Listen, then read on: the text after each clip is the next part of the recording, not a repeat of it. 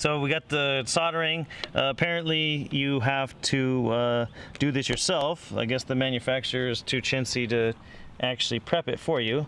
So you get a soldering iron and go around. Let me get over there. And you can just get a hot iron, poke the holes. This is where the screws are going to attach around the frame. Can you get it on there? okay, all right, got it. Okay, so I just used uh, some screws I had laying around that fit the diameter of the holes, uh, which is the remnants of the rivet after the head's removed. Because you can't see after, I just make a little mark so I know where the holes are. Just, just I think it helps. Get you in the general proximity. It just gets me in the area so we know what we, where we are.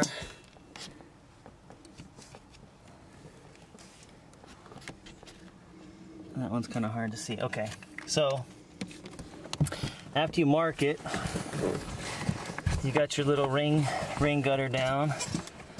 Get your your metal bar and I start in the middle.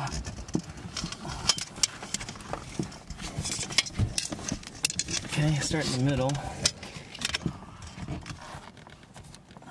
And you know, with the roll bars out, it's uh, you got enough enough room. I tried it first with the roll bars in. It's like no, there's no way. It's, it's impossible. You can't even function unless you're like you know one foot tall and then I got a gun to help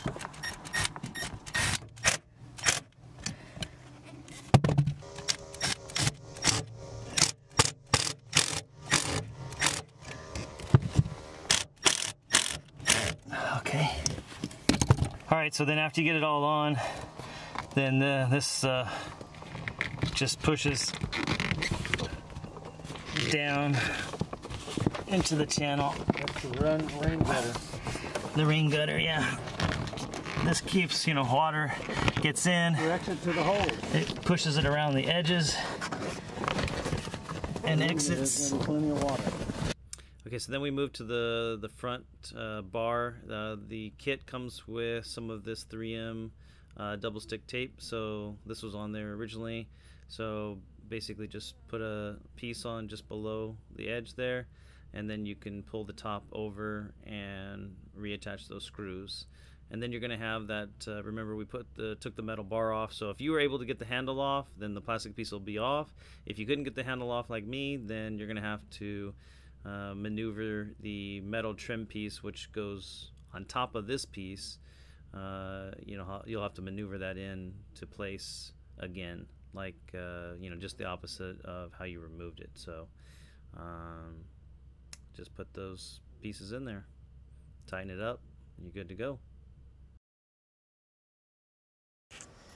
So we'll just slide the you know the cable back in and then it's kind of tricky but I use a pair of uh, vice grips and then I just get it on the back side here squeeze like so and then basically you, have pinched it so the cable can't fall out all right, so this is the other end of the cable. So just get it there, and then you have your Torx. You just want to try to get it started, get a turn in, and then get your socket.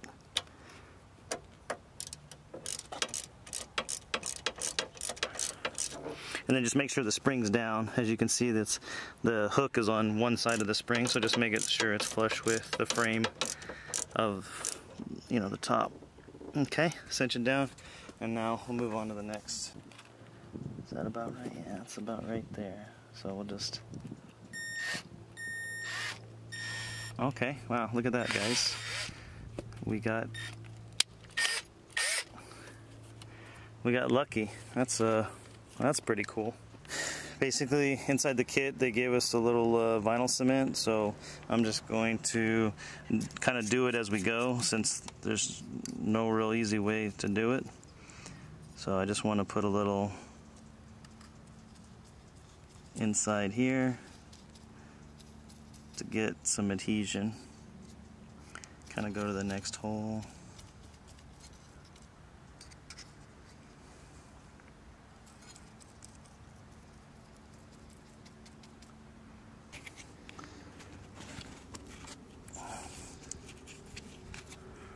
Okay, so then we get our rivet.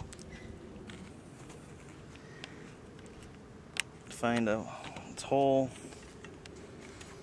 Get the gun on. Okay.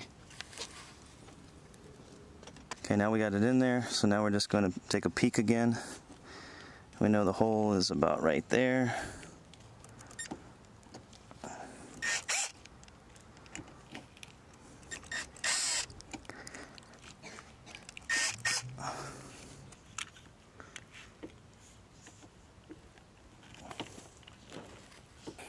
Okay, just make sure you push down.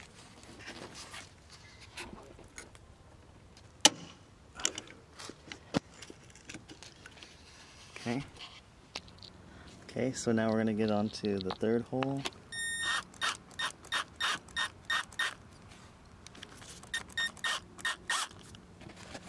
Make sure your top is away, otherwise you'll drill through the backside and that would be terrible.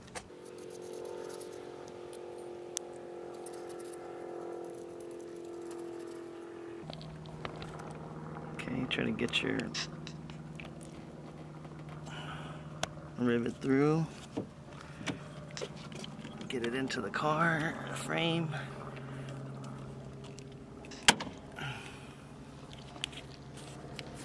Okay.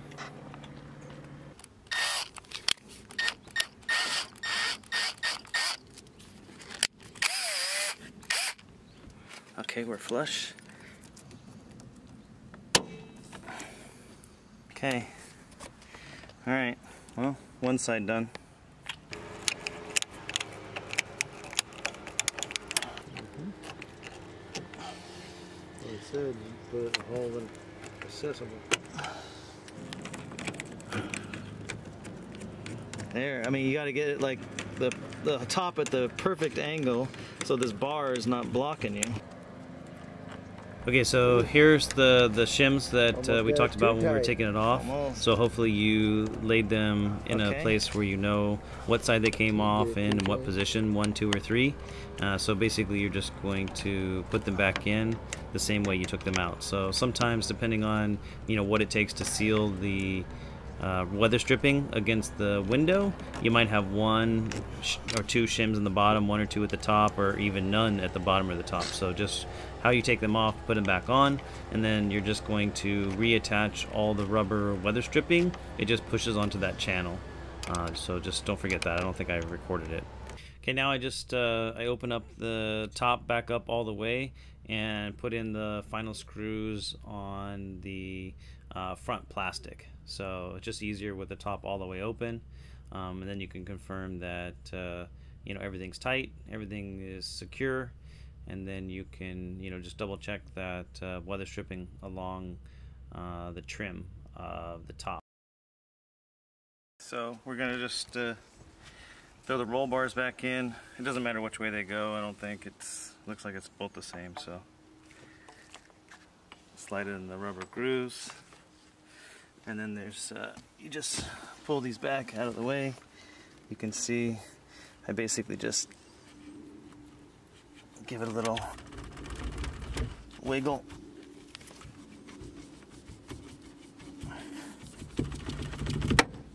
Once you get it in there, tap it down until you get lined up. And throw in your Allen.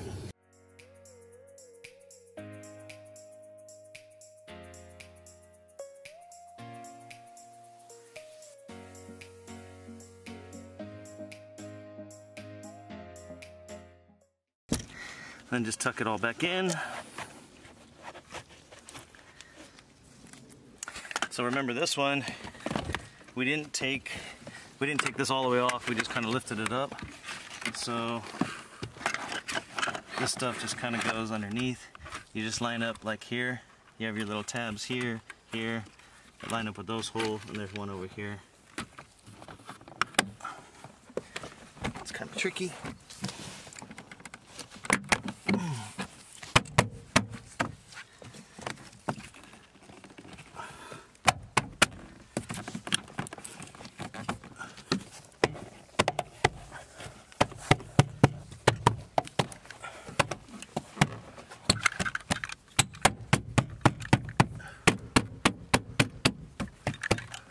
They just slide down.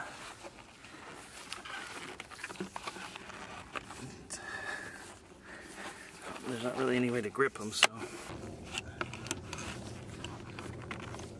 And little seatbelt thing snaps back in place. The buckle goes there, 17 millimeter.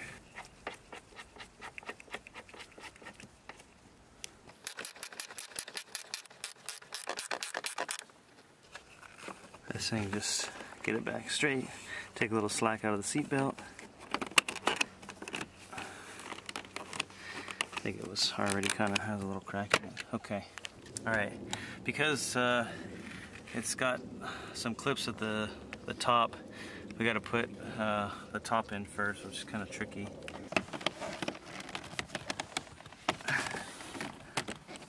Okay, I think we just get it like that. Get the top in,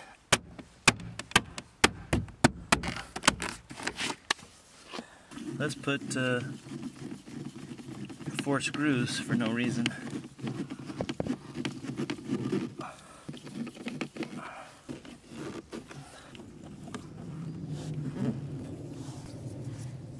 Speaker cover just snaps in.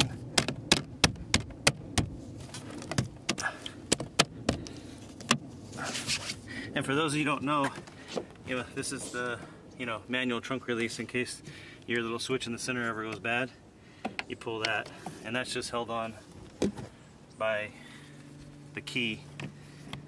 So you use the key to uh, open this. Okay, and this cover is broken. That cover is missing when we got the car, so. Okay, so the factory had uh, a little bit of adhesive um, I, I, already put one on. I mean, it's uh, it's so tight. I mean, I, I, don't know what the point of the adhesive is.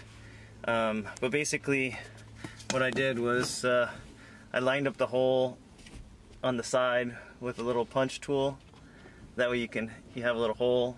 You see where you're starting, and then there's a hole here on the piece of plastic. So you want to try to line those up. So what I did is I kind of just got the material pulled tight over and then you just gotta like shove it up. And then as you go along you just start at the back of the car and you kind of just wiggle it forward. It tries to eat your hand. That way you're like pulling the material tight as you go like I said, I mean, you could put some adhesive if you feel like it, but honestly, it's not going anywhere at all. And if you got it lined up, then your hole on this side will hopefully be there. But like, as you can see, this rail was one of the ones that, that broke. You have the piece of plastic right here, and then you know the screw is gonna go right there. So basically, you have four of these little plastic things, just like trim pieces. I think the factory top had a, another, a third flap. This, you know, aftermarket top doesn't have a flap, so you're just simply just putting the uh, the plastic back on, and the same thing um, with the, you know, the very back piece. So just put those both on, and then. Uh, put the screws in. Okay guys, so we're uh, finishing up the TT uh, convertible top and some of you guys might have the problem with the switch where it shows on the dash, you know, that it's uh, open and so uh, we're going to, we're gonna, I'm gonna show you a little trick for uh, the, the switch here on the outside. So basically, you know, when you close the top, the little uh, mechanism, the arm, pushes this over, and that's the switch that you're seeing on the dash. A lot of guys say that you can just, you know, push it over and you know bend it a little bit, but it uh, it only seems like a temporary fix. So what I want to do is uh, basically cut out a little piece of plastic just like a, from an old bumper cover and what I want to do is just uh, silicone it uh, right on uh, the edge of there. So basically I just want to grab it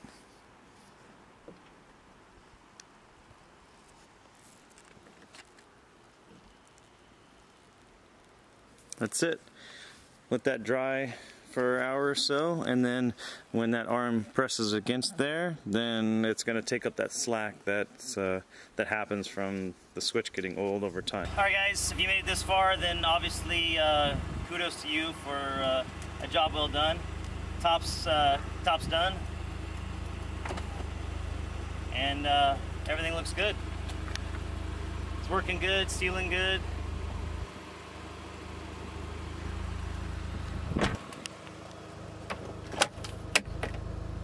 Yeah. So it came out nice. This one has the integrated uh, window, uh, so it's never gonna fail like uh, the factory one. So, like I said, fit and finish wise, I think it's pretty sweet. Looking good. Thanks again for watching, guys. Uh, hope the tutorial was useful for you. Um, let me know in the comments below. Uh, feel free to like and subscribe to the channel, and catch you on the next one.